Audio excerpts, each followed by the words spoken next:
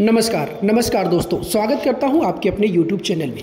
आज इस वीडियो में आपको बताने जा रहा हूँ, वो कौन सी आउटसोर्सिंग भर्ती है 2024 में जो आने वाली है और एक फरवरी 2024 से रजिस्ट्रेशन, आवेदन शुरू होने वाला है। कुल पद है सैंतीस हज़ार एक सौ उनचास।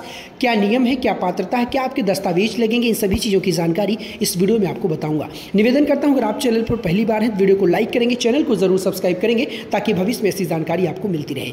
जैसा कि आपको पता है, उत्तर प्रदेश सरकार के द्वारा लगातार युवाओं को बहुत बड़ी सौगातें दी जा रही हैं।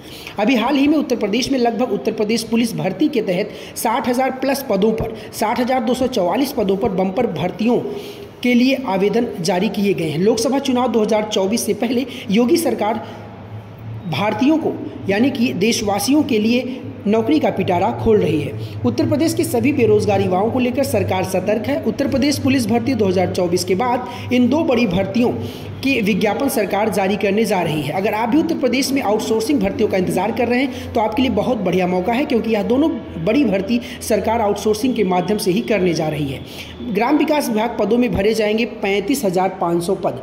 आपको मैं बता दूँ किस तरीके से ग्राम विकास विभाग व ग्रामीण अभियंत्रण विभाग में रिक्त करीब 3500 पदों पर शीघ्र भर्ती की प्रक्रिया शुरू होने जा रही। मनरेगा, एसआरएलएम व अन्य संस्थाओं में आउटसोर्सिंग व संविदा के माध्यम से बत्तीस हज़ार कार्मिक रखे जाएँगे। कुल पैंतीस हज़ार पाँच सौ भर्तियाँ की जाएँगी और जल्द ही आपको इसका नोटिफिकेशन देखने को मिल सकता है। आउटसोर्सिंग के माध्यम से परिचालकों की भर्ती जल्द होनी है। परिवहन निगम ने छः क्षेत्रों के लिए निकाली है भर्तियाँ। उत्तर प्रदेश राज्य सड़क परिवहन निगम आउटसोर्सिंग के माध्यम से सोलह परिचालकों शिक्षकों की भर्ती करेगा। यानी कि अगर आप कंडक्टर बनना चाहते हैं, आपके लिए बहुत बड़ा मौका है, लेकिन इस वीडियो में आपको बताऊँगा क्या करना, आपको कैसे करना है।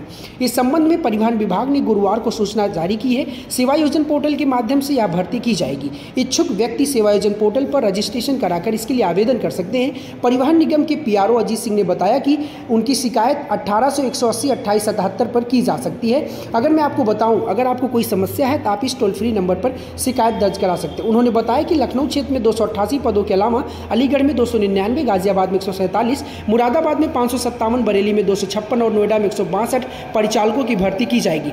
भर्ती में एनसीसी और भारत स्काउट गाइड और राज्य के राष्ट्रपति पुरस्कार प्राप्त अभ्यर्थियों को इंटरमीडिएट के अंक में पाँच प्रतिशत की वरीयता दी जाएगी। तो किस तरीके से इन सभी भर्ती के लिए सरकार ने आवेदन जारी कर दिए हैं? अगर मैं आपको बताऊँ तो क्षेत्रवार रिक्तियों के विवरण में अलीगढ़, मुरादाबाद, लखनऊ, बरेली, गाजियाबाद और नोएडा में रोडवेज़ कंडक्टरों की भर्ती की जानी है। इसके आवेदन के लिए आपको सबसे पहले उत्तर प्रदेश सेवा योजना कार्यालय पर जाकर रजिस्ट्रेशन करना है और आपको एक बेरोज़गार का नंबर मिल जाएगा। यानी कि आपके पास नौकरी नहीं, आप नौकरी के लिए आवेदन करना चाहते हैं। तो सबसे पहले आप उत्तर प्रदेश सेवा योजन कार्यालय पर जाइए।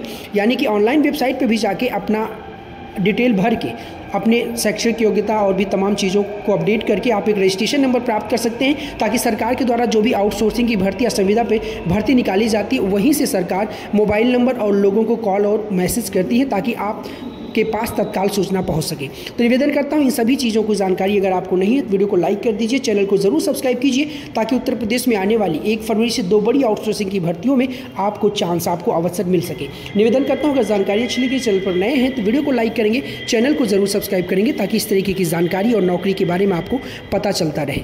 धन्यवाद दोस्तों।